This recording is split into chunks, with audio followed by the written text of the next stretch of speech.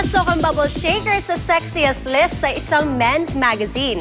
Ang isa sa members ng Bubble Shakers na si Arnie Ross, todo na raw ang paghahanda para sa pagrampa sa grand party.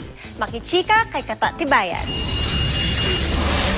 Hindi kumpleto ang Friday hotness nang wala ang mga bubbly, cute at sexing-sexy na bubble shakers ng Kapuso Gag Show na Bubble Gang na kinabibilangan ni Andrea Torres, Max Collins, Arnie Ross at Sam Pinto.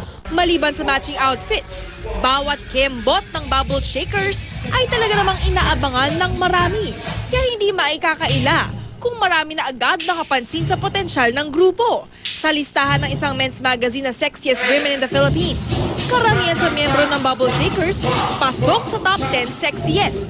Si Sam Pinto, nakailang beses na rin hinirang na pinakasexing babae sa balat ng lupa. Ang mga newbie sa pagpapasexy na sina Max at Arnie, laking gulat na mapabilang sa listahan. Hindi ko na-expect na magta-top 100 ako. Si Arnie, kabado at masaya raw nararampa sa grand party ng men's magazine na ito. Bilang paghahanda, hindi raw niya pinababayaan ang magandang pangangatawan.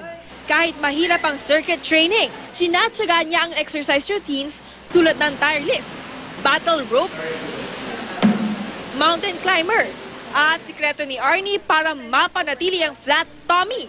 Before kasi rice person ako eh, so talagang tinanggal ko na siya sa sa eating habit ko.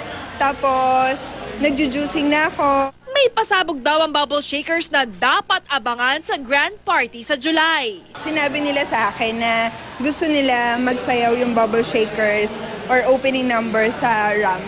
Sana, sana matuloy. Katatibayan updated sa showbiz happenings.